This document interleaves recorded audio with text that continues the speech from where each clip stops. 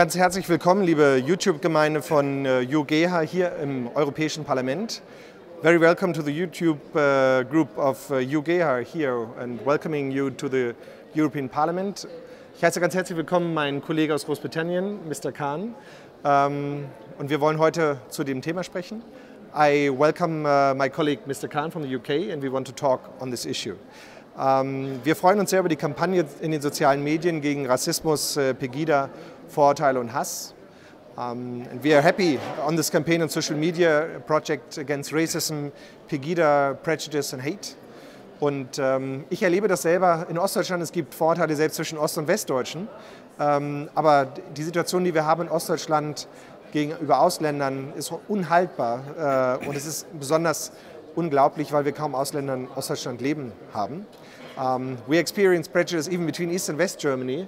Uh, cannot imagine what this is uh, taking place, but even the prejudice against foreigners in East Germany are not uh, understandable and actually not acceptable as they are not living hardly any uh, foreign like foreign people, uh, foreign decent. So uh, there needs to be an openness and discussion on this issue. Um, und ich möchte meinen Kollegen fragen, welche Erfahrungen er hat als äh, Mitglied im Europäischen Parlament, aber auch als Muslim äh, in Großbritannien. I want to ask my colleague uh, how you have experienced certain things or why this issue is important to you as a member of the European Parliament, but also as a, a person with a Muslim background. Well, look, first of all, I think uh, I want to congratulate you on the initiative that has been taken. It's so important that we do this. We want to see in the 21st century European Union, which is fair and just for everyone. We live in a global village. We are going to be connected with one another. Ich möchte ganz herzlich danken für die Initiative. Wir leben im 21. Jahrhundert und wir leben aber in einem globalen Dorf und es kann nicht angehen, dass diese Thematik uns auseinanderbringt.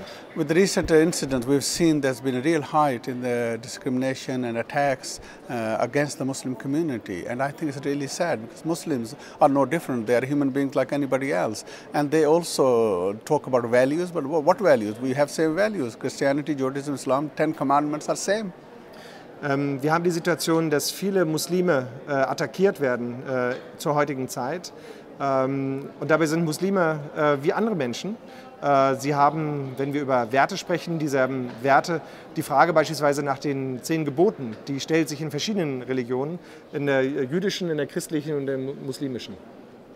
And you know, uh any attacks uh, on pulling somebody's headscarf or spitting and things like that, it's just not acceptable. We know majority of the people everywhere are decent people, and it's the decent people who need to stand up now and be counted. Ähm, Menschen werden nur aufgrund äh, der Situation, dass sie ein Kopftuch tragen, beispielsweise angespuckt oder attackiert.